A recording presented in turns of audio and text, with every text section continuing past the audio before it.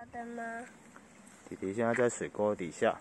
爸爸，你跟我一起去底下吧。啊？你跟我一起去底下。你说去水沟？嗯。不要啦，我怕我太重会把水沟下面踩扁哦。因为它下面是软软的吧，把它踩了它可能会扁下去。你还比较轻。好啦，有看到螺壳了吗，弟弟？不用摆。不要不要剪，因为我怕那个螺还有寄生虫，有细菌。你剪了，我怕你会生病。我们看就好了，你可以静静的看。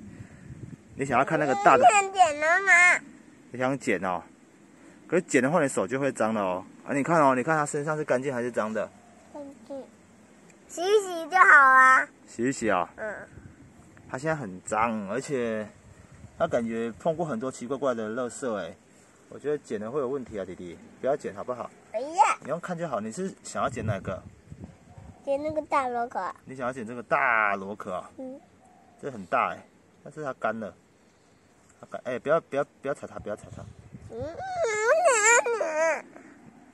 爸爸变了。你要剪它啊？嗯。好，那你剪，你剪，你剪。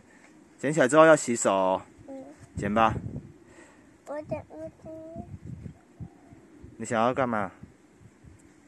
可是我怕那个是寄居蟹。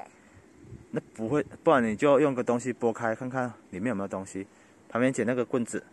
这个。这个这个可以当棍子用，这个这个，好，这个也可以。那你把它翻过来，翻过来看看，可以啊。那个呢，你就把它翻过来看看，底下有没有爪子？它是吗？不是寄居蟹，对不对？它是空壳啊，弟弟，它是空壳，它是空壳，所以你可以捡了。干嘛，弟弟？你干嘛一直戳它？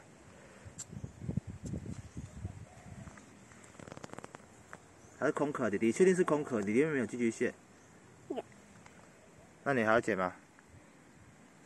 还是你要看其他更漂亮的再剪？